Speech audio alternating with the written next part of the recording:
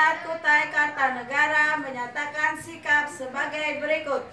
Kami menolak setiap segala kegiatan yang dengan sengaja menyebarkan informasi untuk menimbulkan rasa kebencian dan permusuhan terhadap suku, agama, ras, dan antar golongan. Kami akan bersatu padu dan menyuarakan kebenaran dengan melawan berbagai bentuk fitnah, kebohongan, dan hoax.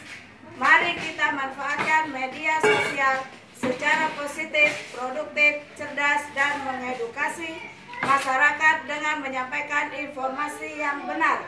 Semoga bangsa Indonesia, khususnya wilayah Kutai Kartanegara selalu aman, damai, kondusif, dan.